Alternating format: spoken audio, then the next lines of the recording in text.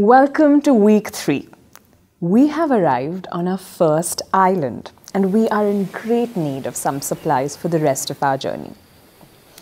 Imagine that this island has trees laden with fruits, nuts, and berries, and clean water springs. Just as planners gather information and knowledge from different sources during the NAP process, we need to stock up on these supplies. We will need them to sustain us through the changing tides of our journey on the NAP as we visit the next islands. Just like in any other decision making process, information is key for climate change adaptation planning. Formulating and implementing a national adaptation plan pushes us to find the answers to many challenging questions. Questions about climate risks, future scenarios, existing adaptation policies and activities.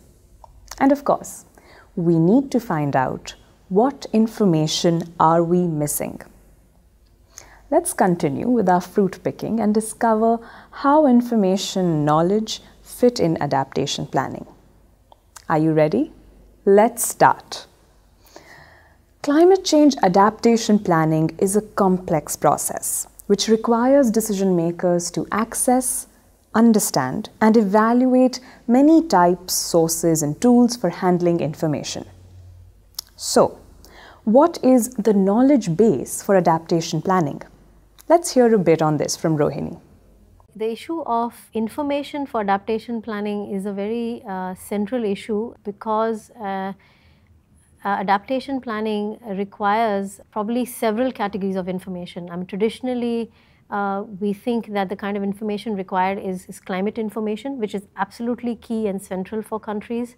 But adaptation planning is not only about climate information because there will never be um, the perfect level of information required or the perfect predictions or the perfect forecasts that are required to do a much more rigorous planning process because adaptation is a lot about behavioral changes it's a lot about um, uh, change it's a lot about adapting activities on the ground taking up more um, resilient and sustainable practices.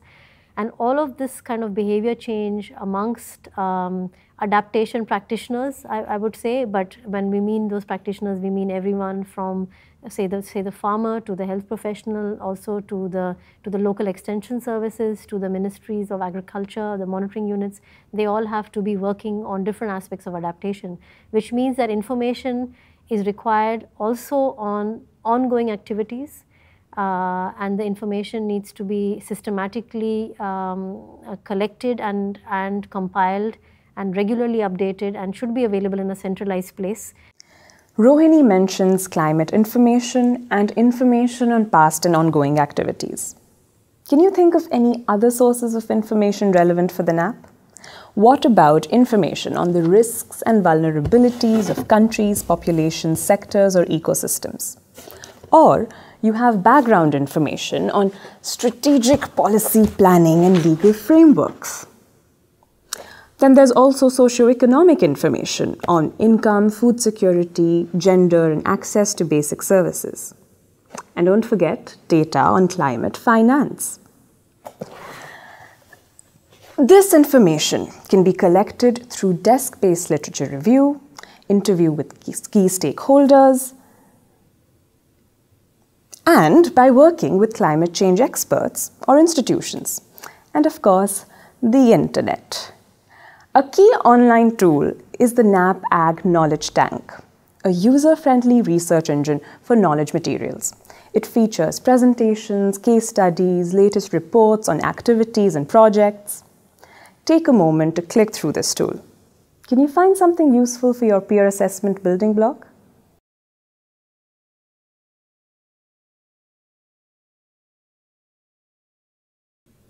So, how do information and knowledge fit in adaptation planning? It's a two-way process. On one hand, the NAP must be built on strong scientific knowledge base that informs planning and implementation decisions. On the other hand, the NAP can also strengthen the knowledge base and data collection, produce additional analyses, and provide capacity development of key stakeholders.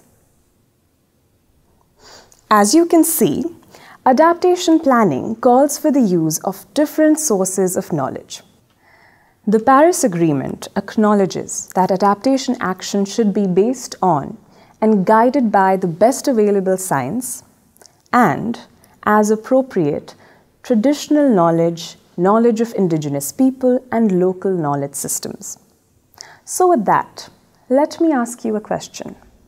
Do you know why, in some valleys of Peru, the Quechua people plant a potato that never yields? Indigenous food systems have a unique capacity to generate food from the environment without depleting the resource base. Across the world and over millennia, indigenous people have come up with ways of living that have not only provided food, shelter, and rich cultural heritage, but have done so while preserving the environment in which they live. Their knowledge is more important than ever in answering the question of how to feed 9 billion humans amidst climate change. Are you still thinking about the potatoes? Well, the answer is that the Quechua know a special potato variety that can stop the surrounding ones from freezing, even though it does not yield. In a way, indigenous people have already developed and tested today's answers to many of tomorrow's challenges. This is why some countries have included indigenous knowledge in their NAPAs and NAPs. In Uganda, for example, um, indigenous practices such as water harvesting and using seeds to purify water were part of the NAPA consultations. Of course, finding effective climate adaptation solutions requires time and resources to better understand and document many of these indigenous traditional practices. Despite their resilience, in recent times, indigenous people are being progressively pushed into situations of increased vulnerability. Do you think that traditional practices and knowledge are under threat of modernization? You can answer this question in this week's poll and see what others have to say.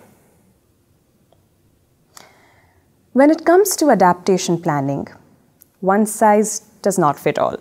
Climate change adaptation implies a process of institutional and behavioral change, which is only possible when underlying social and gender issues are analyzed and addressed.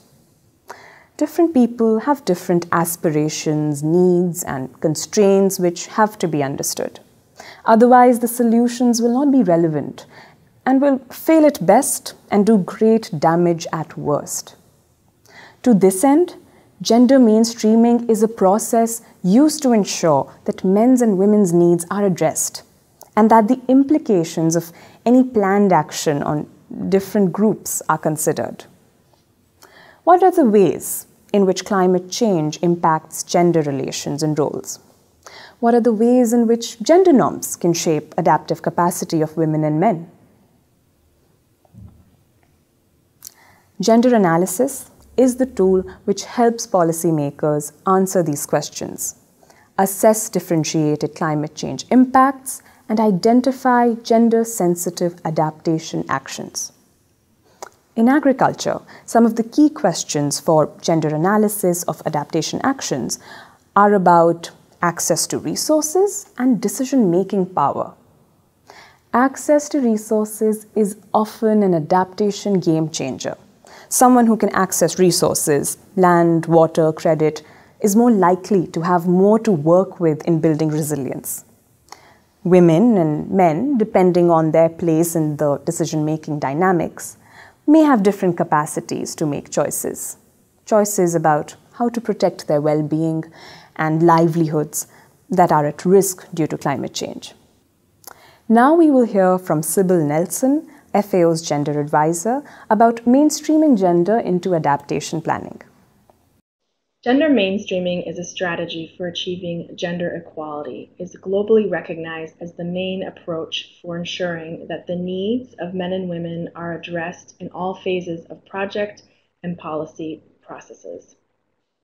Gender mainstreaming is important in the context of adaptation because it is critical for ensuring that the impacts of climate change on men and women are understood and addressed in adaptation so that the eventual impacts of adaptation plans and policies are benefiting both men and women in their respective roles equally. Thank you, Sibyl. Now, we learned that gender analysis is a useful tool in adaptation planning and can be used for assessing climate impacts and vulnerability and identifying adaptation options. These are examples of the kinds of information which gender analysis provides when shaping gender sensitive policies. Okay, time for a quick recap. In this video, we discussed how information and knowledge fit in adaptation planning. Remember, it's a two-way process. We looked at the different types of information such as indigenous knowledge and gender analysis as a, as a tool that can help planners find truly sustainable solutions and avoid maladaptation. As usual, the lecture notes await you with more information, definitions and resources. It's also time for your peer assessment building block number two. See you in the next video on the use of climate information.